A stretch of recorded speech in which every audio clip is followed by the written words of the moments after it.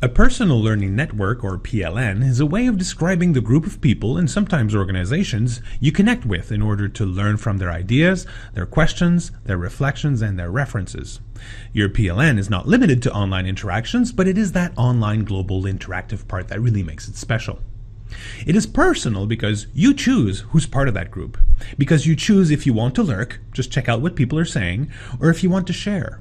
Because you choose when to do so and how to do so. You don't have to know the people in your PLN personally. Their contribution to your learning focus is what brought you together through the internet. It is a network because these people are in turn connected to other people and organizations that influence and enrich the interactions of your group through various collaboration tools, usually referred to as Web 2.0. It is focused on learning.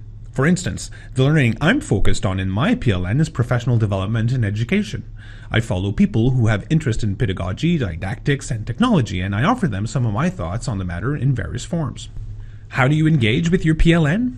The tools vary from one person to another. My personal favorites are Twitter, YouTube, and the Educator's PLN. Your PLN is always on, but you don't have to be always on it. Take what you want, offer what you want, when you want, where you want it, and on whichever device you prefer. This keeps learning, or your professional development, always easily accessible.